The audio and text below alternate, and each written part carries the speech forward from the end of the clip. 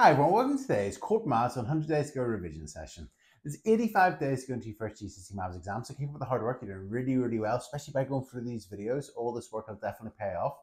Now, in terms of today's revision session, if you're preparing for GCSE higher, your topic is reverse percentages. And if you click the link in the top right hand corner, that'll bring you directly to your video today. Alternatively, you can click the link in the description below. Or remember at the end of the video, there's, there's two icons, one for GCSE Higher and one for GCSE Foundation. You can click either one of those and they'll bring you to the revision sessions for 85 days to go. If you're preparing for GCSE Foundation Maths, today your topic is averages from tables. So looking at how to find the mode, the median, and the mean from tables, and also the range in terms of the range as well from tables. So that's our topic for GCSE Foundation Maths. If you click the link in the top right hand corner, that brings you directly to your video. Alternatively, there's a link in the description below.